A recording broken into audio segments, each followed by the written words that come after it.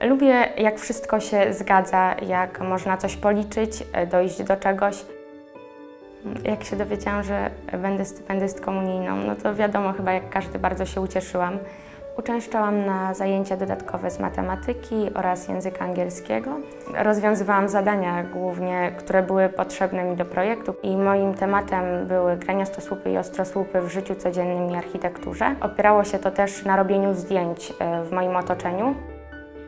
Wzięcie udziału w takim projekcie jest szansą na własny rozwój.